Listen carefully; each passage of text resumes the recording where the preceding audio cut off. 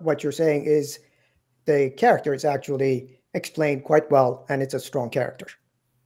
Yes, yes. Mm-hmm. Um, he like what um, because pretty much uh, his sister saw him in a different way or remembers him to be a different person, uh-huh.